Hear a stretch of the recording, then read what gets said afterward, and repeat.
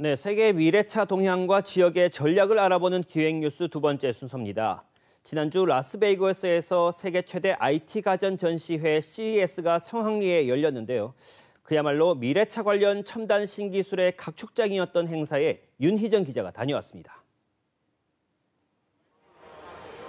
지난해 전기차 시장 진출을 선언한 전기 전자기업 소니. 혼다와 함께 만든 첫 전기차 아필라를 공개했습니다. 혼다의 디자인과 소니의 카메라 기술을 접목한 물체 감지와 자율주행 능력이 강점입니다. Also, the integration of PlayStation to the car kind of rounds out an experience that honestly no one can match. 자동차 부품업체 보쉬는 차량 모니터링 시스템을 선보였습니다. 운전자가 위험에 처하면 차량 안팎의 모니터를 통해 원격으로 확인한 뒤 즉시 구조대를 부릅니다.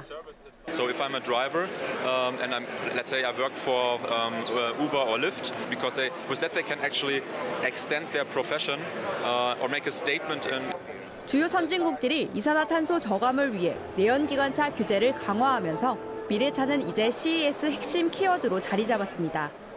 내연기관차 종말이 다가옴에 따라 관련 산업들도 빠르게 변화하고 있습니다. 기업마다 신기술과 신제품을 앞다투어 선보이며 미래차 시장 선점을 위한 치열한 경쟁을 펼치고 있습니다.